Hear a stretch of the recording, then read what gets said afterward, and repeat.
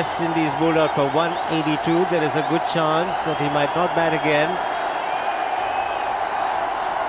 Magnificent. These are magical numbers. 153 runs short of 16,000. Tendulkar on strike. He's gone for the sweep shot. There is a field in the deep. The single being cheered as well. Oh, that certainly played back and got the length and the width for it, or, or do you try to get forward? That's what I'm keen to understand. Wow! Look at that for sheer brilliance. Well, they've left the field open for that shot. A lot of good off spinners do that. Leave point, third man open, invite the batsman to play the shot. Well, he accepted the invitation. Well, he's played that very fine. He's playing with the field a little bit here. Oh, great shot to bring up the half century in his last test innings. He dug it in short and then Tendulkar waited.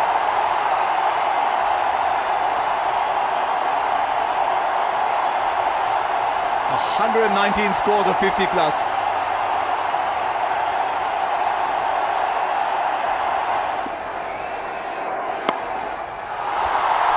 Right, runs there too. I think they'll have to do something about that area now. I don't think it's biting off the turf enough to make that a dangerous shot just now. Fine shot, punched on the back foot. He doesn't even move, Tendulkar. That's four for the taking. Down the ground he goes. And uh, beats Miller. And into the boundary.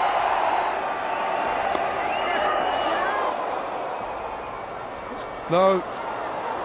Tendulkar's got to go. That is the end of this innings. Tendulkar is on the slow march back. There is a deathly silence here at the Wankhede Stadium, Mumbai. Tendulkar did not wait for the decision. He knew he had just chipped it to slip, and he's on his way back.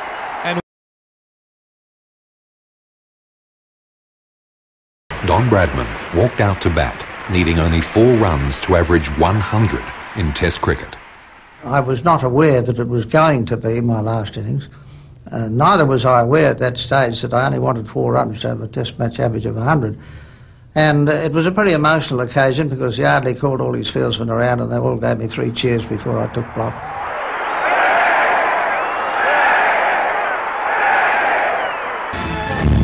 Hollies bowling and Don playing perhaps his last test innings here. As Holly pitches the ball up slowly and he's bowled. Bradman bowls Hollies not. Bowled Hollies not. Silence. Absolute silence. But it was an extraordinary thing that had happened, you know.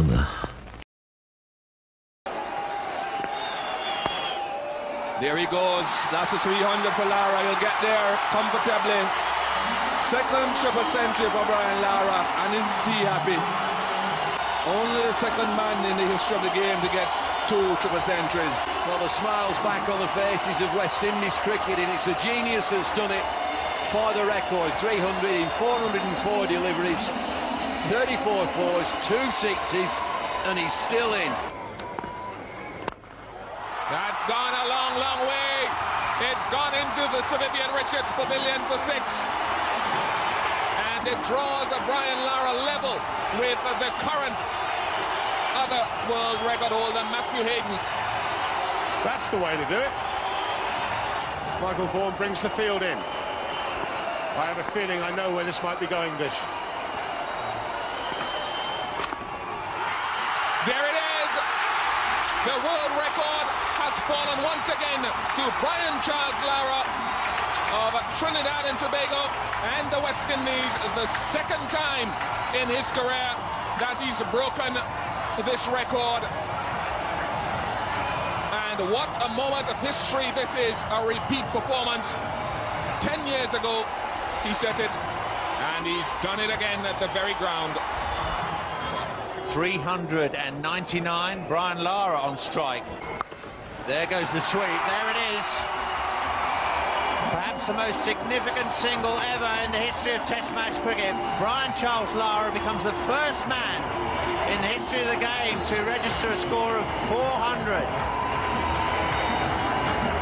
582 deliveries, 776 minutes with 43 fours and four sixes. I'm sure he'd love to just get Lara off strike, yeah? Bowl at Dillon. That's why he has been reluctant to bowl Robin Peterson. Lara has uh, not allowed Peterson to settle at all. Yet another boundary. He's helped himself beautifully. And for good measure, all the way. That's gone for six. The first six of the innings for Brian Lara.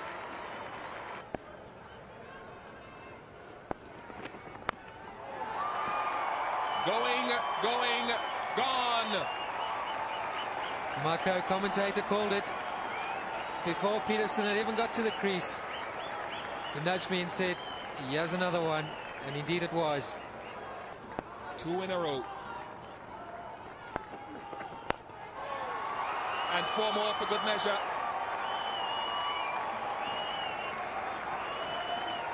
This is wonderful stuff down here.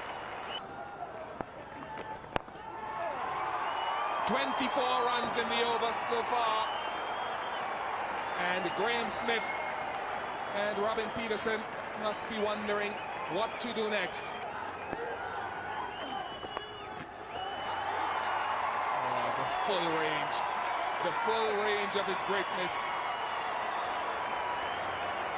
Very, very delicate. 361 for 6.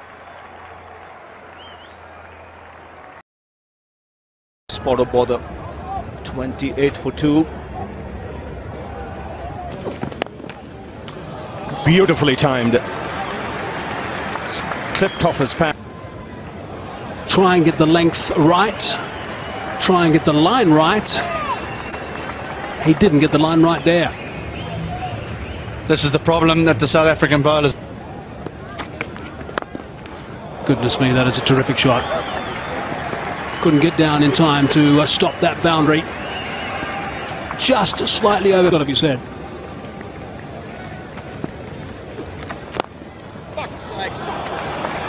That is a wonderful reply from 10. Just about carrying. Edged again. That brings up the half century for Sachin Tendulkar. It's got that fine. That was intentional. Might just reached the boundary, in fact, just cut off. Top edge. Will that go the distance? Six it is, and a hundred for Sachin Tendulkar. Second of the series, and the 51st of his career. It just keeps coming, doesn't it?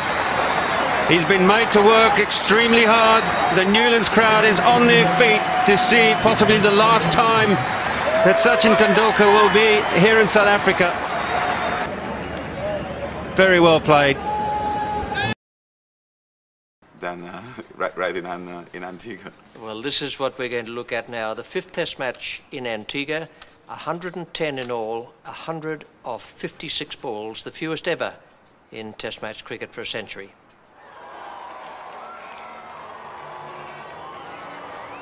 John Emburey suffering there, and then the first of half a dozen sixes as Ellison sees a perfectly respectable delivery dispatched from the middle of the bat. They always say that the best batsmen let the top hand dominate their shots. Richards puts that theory to the ultimate test.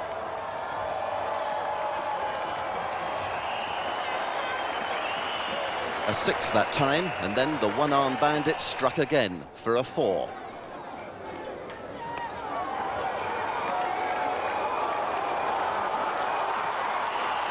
Emburey must have been wondering what to bowl next. A full toss was not the answer.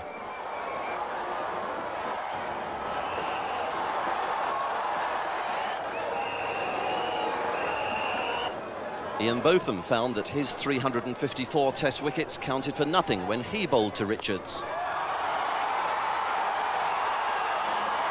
A mighty blow into the top tier of the stand.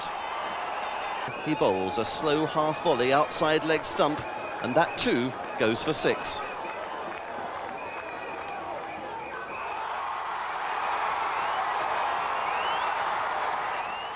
A high percentage of Richards' runs had come in boundaries, but refreshments were still in order for batsman and bowler alike. And that was all that slowed Richards down as he went to his century with a perfectly controlled sweep off middle stump.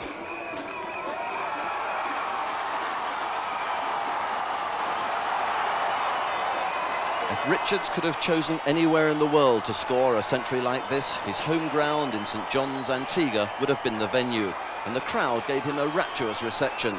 Richards' second 50 took just 21 balls, and in all he struck six sixes and seven fours. And this was the last six before the end of the innings. Now, Viv, in 1987-88 against Pakistan in the third test, you made over 100 runs in the match, and in the course of that became the ninth batsman ever to reach 7,000 runs. That was in your 94